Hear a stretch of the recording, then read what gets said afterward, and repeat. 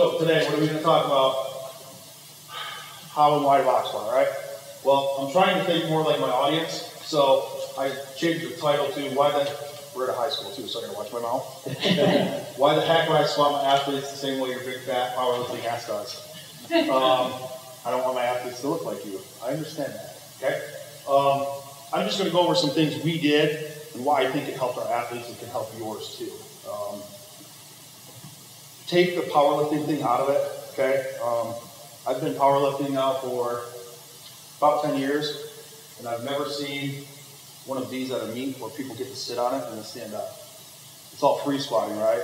So that's kind of a knock on what I do. Not what I do, this kind of system is there's like a powerlifting stigma. But if we really think about that, powerlifting is squat, bench, and deadlift, right? So if we run this system the correct way, we're really only going to do those three lifts maybe once or twice a year. Whereas a lot of other popular programs that are out there right now do those on a weekly basis, at least once. So whose program is more like powerlifting? Okay, this the method this was stolen from was designed in Russia to train multiple sport Olympic athletes.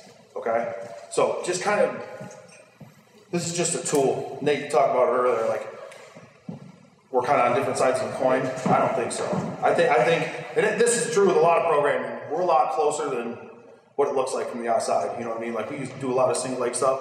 Um, I never got as advanced as you did, but I think there's a lot of crossover. So just try to think of this as an easy exercise to teach your athletes that they can recover from. Okay? Try to get that powerlifting, that bad word, that bad powerlifting word out of their head. Okay? Um, this is a, a room I got to build when I was coaching.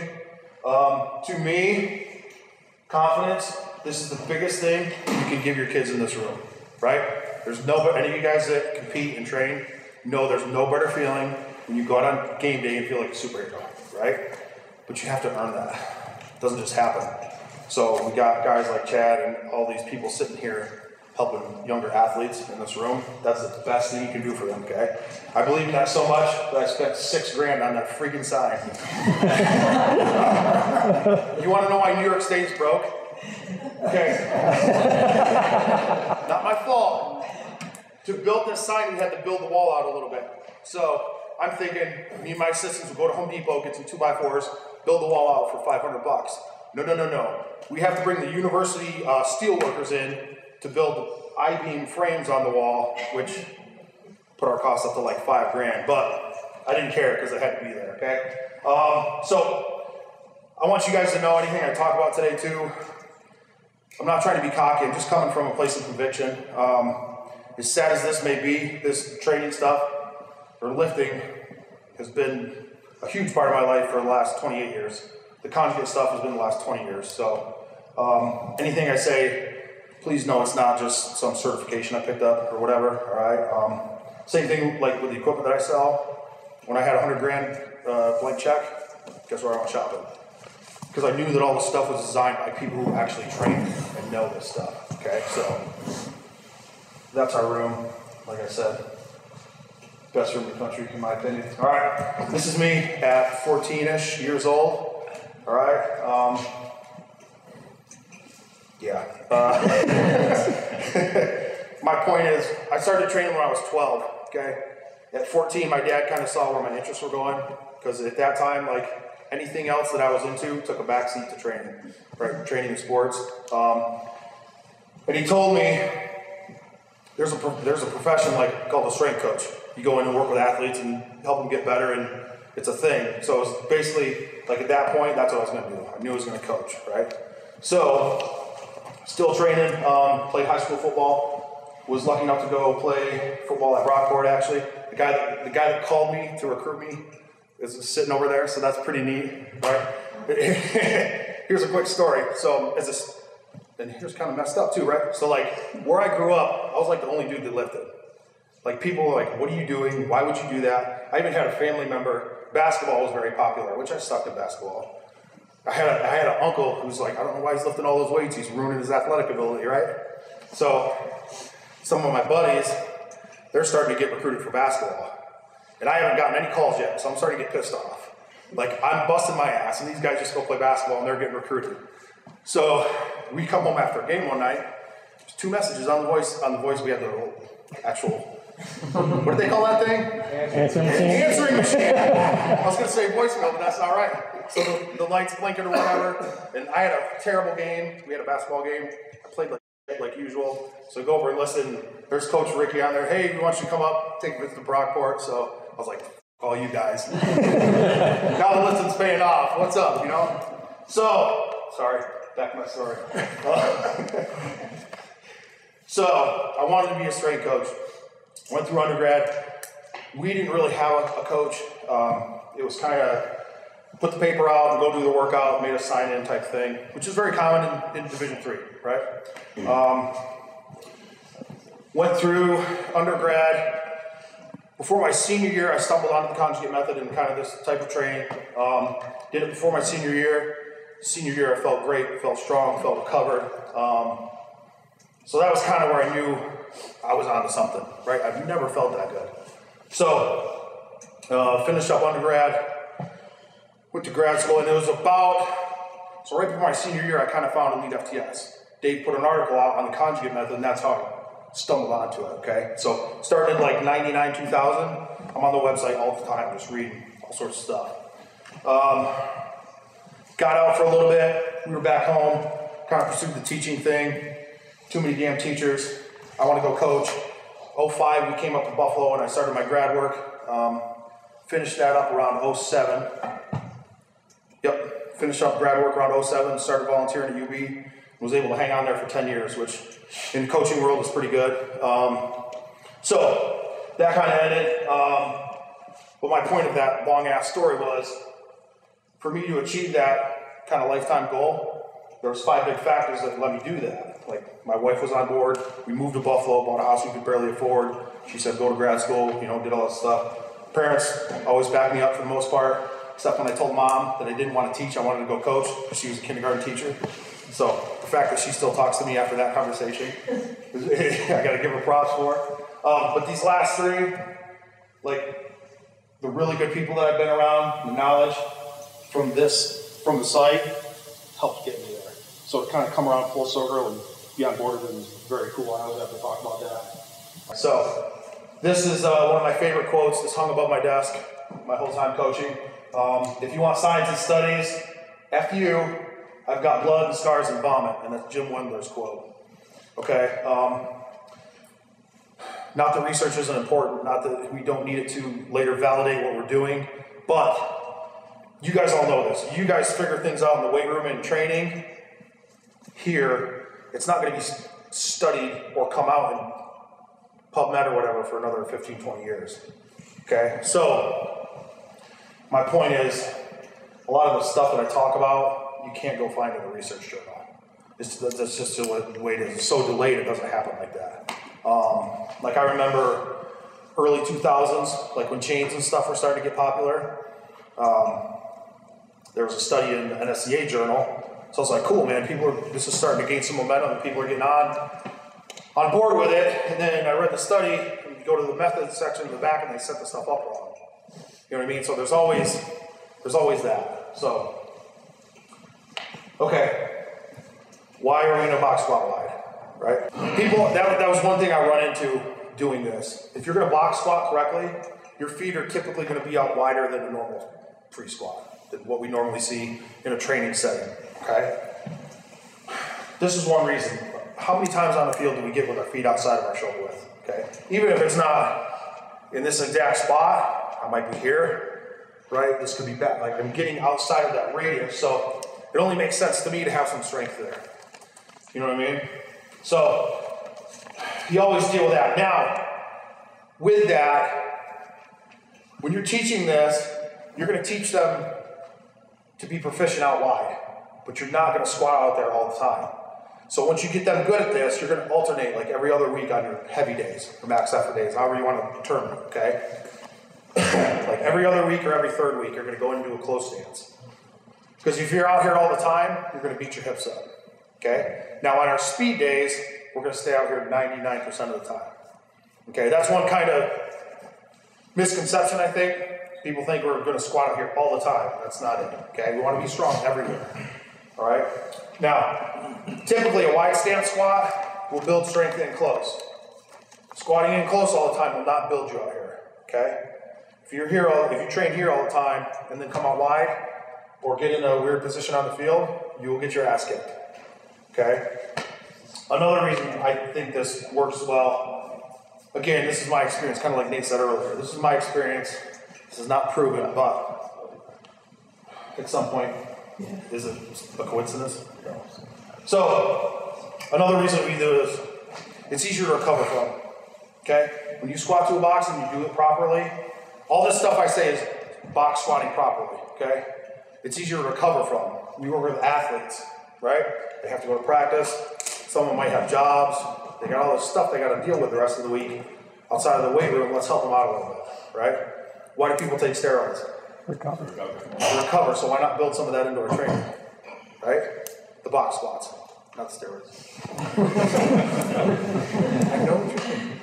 Um, so we can recover quicker, right? Go into any weight room on heavy squat day, and what are you going to hear? Lower, lower, you're almost there. Come on, get down. If you set your box up right, almost every rep is the proper depth. Okay? There's the argument we don't need to squat to parallel because we're not power lifters. I completely agree. But if I want a muscle to contract maximally, it has to be stretched optimally. So you have to get some depth there. Does that make sense? So I need to sit, I need to get down a little bit. Everybody talks about glutes and hamstrings. If I'm gonna get those, I'm gonna get down there a little bit.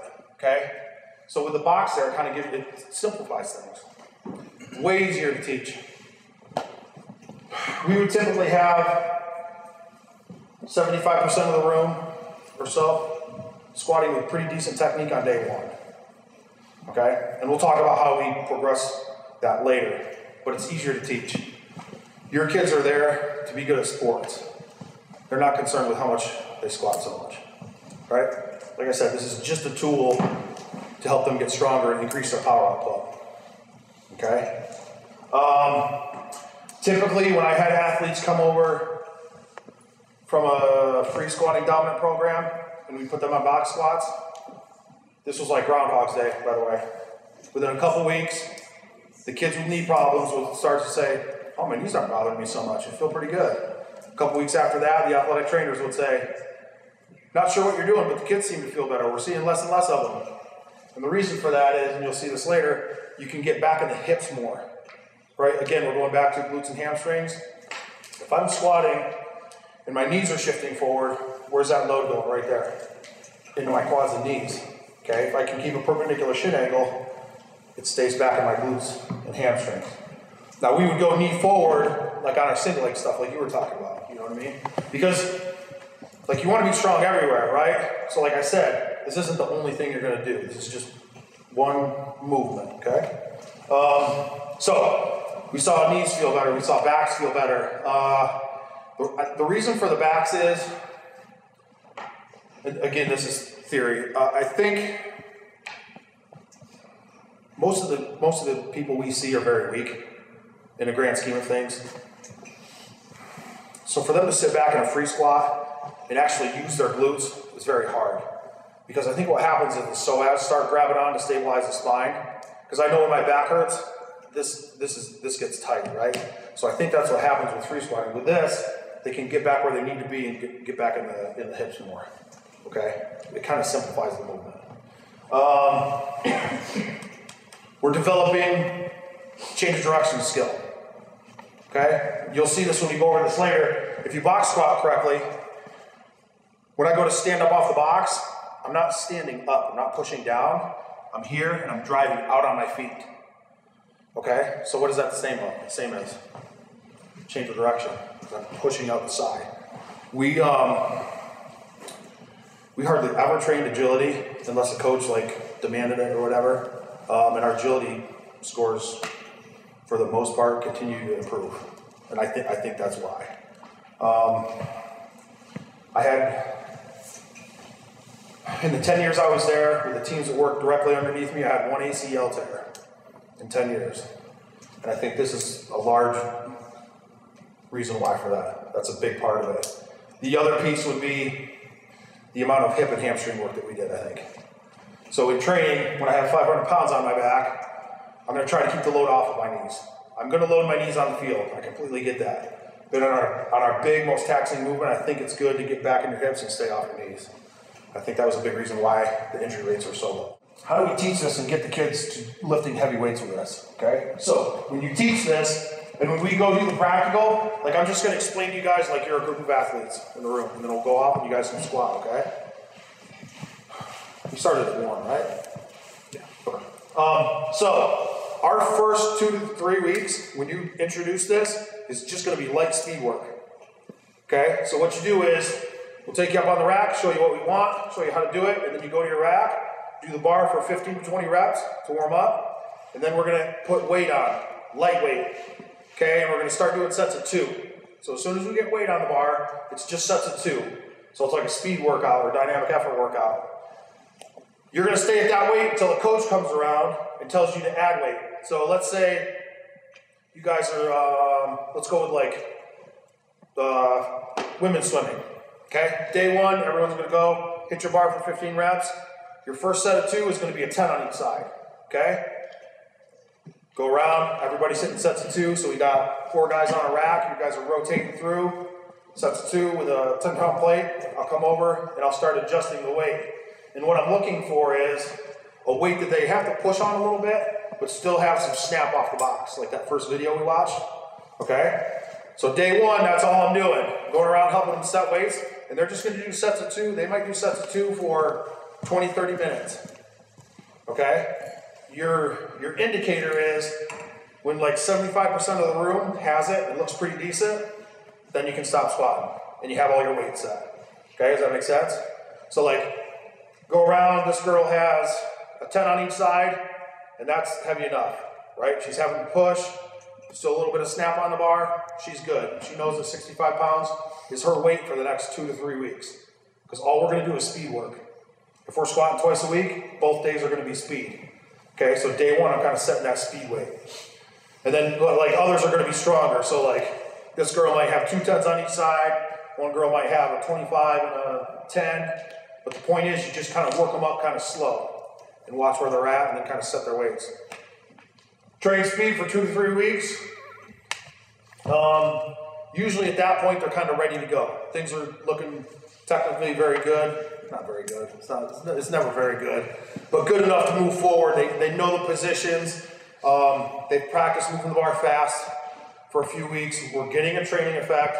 Now we can start creeping the weight up. And usually, what I did at that point was just use like an RPE system. Um, so instead of doing like a a two rep max, a three or five rep max. At that point, I'd usually just say, okay, today you're going to do your warm up. And let's say we're going to do threes. We're going to do heavy threes.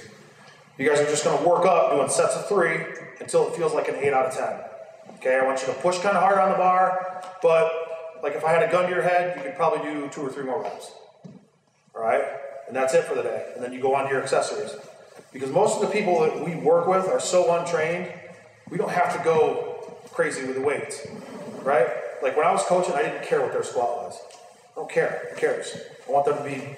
But that's not to say we're not going to lift heavy stuff. They're going to come in on max effort day. We're going to challenge them. They're going to go hard, and then we get out. The max, the numbers really don't matter. So we're working, just working up to RPE at that point. And then over the next couple weeks, as they get better, then we'll start doing like a two rep max, three rep max. Usually at that point, we can start hitting singles. Okay? Uh, I do like to do singles if you can. If the group is technically proficient enough, I think there's a lot of benefits to true max effort training that we're not going to get from other methods. Okay? But you're not always going to get your groups there. And that's okay. If they come in and they're only good for heavy set of five and then accessory work, they're still going to get better. They're still going to get stronger. Okay? Um, I like to use accommodating resistance as soon as they're proficient at the movement. So usually about week two. All right, but you have to scale it. So like for a women's swim team, like I was saying, I'm gonna have mini bands on the bar, not the gray average bands, not the gray big ones. Okay. With the accommodating resistance, my thought on that is Why do I want to wait to help to teach them to accelerate, or follow through, or finish a rep, or finish a tackle, or finish a double leg shoot, right? Chains the band to teach you to finish through. So why why not put that on them as soon as they're proficient enough in the movement? Okay, but you gotta scale it. Okay. And then, like I said before, usually after about four to six weeks, they're pretty good. Then we'll start switching the stances on our heavier max effort day. Okay. Percentages. Everybody gets caught up on percentages. Who cares? We don't need to know their max. You don't need to use an exact percentage on speed day. It has to be a sub-maximal load and move it really fast. Okay? Teach, teach them to accelerate the bar and push it as fast as they can, and you're going to be ahead of most people. Okay? Because I see a lot of like, just watch people lift. You don't see a lot of athletes with pop into the bar and acceleration. Okay? Push as hard and fast as you can. Right? Um, sets and reps. So the traditional is 8 by 2 The reason for that is Louie stole data they collected on the old Russian weightlifters, what um, the maximal sets, the optimal sets and reps were. Okay, so and then what he did was he figured out that two reps was the same amount of time it took for a competition squat. So this is just based off of powerlifting specific times. So if you have a sport where you think a five rep is going to be better, that's fine. Just keep them moving the, the weight fast for whatever amount of time you determine is what they need. But the thing is, you don't want to go too long because we don't want lactic acid to start creeping in, right? So I don't want to go, I really don't want to go like 8, 10, 12 reps. We're trying to stay out of the lactic acid. We are trying to go to fatigue. When you do speed work, your rest period should be short, like 30, 45 seconds. Okay? As I go into my next set, I should be a little bit fatigued. Because what happens is then you have to draw more fibers, right? Just like the French contrast stuff that's popular, it's the same concept. You're doing explosive work in a slightly fatigued state to get more fibers. Uh, you don't need to worry about that. Eh. So as we went along and we got better at this, we started to do some event-specific um, times on this. So like we would have situations where a 200 meter runner would speed squat for 20 seconds straight, as many reps as they could. We did it on a belt squat. I think that's better, but you can use a bar too. Um, our 800 meter runners went for two minutes. Don't. Yeah, sucked. But but the feedback was, you know, my race feels easy now, right? So who wins the race is the person that slows down the least. So after doing that, and use that sparingly. That was only going into conference when we needed to peak. All right. Okay. Any questions? All right. Let's go. I got those three racks set up. So let's go over there, like on the GHRs, and then uh, we'll get we'll split you guys up. Back and open until I'm box. Push out. Drop my shoulders. Stand up. Okay. What you're going to see is they're going to do this and they're going to rock back, and then they're going to try to roll forward into it.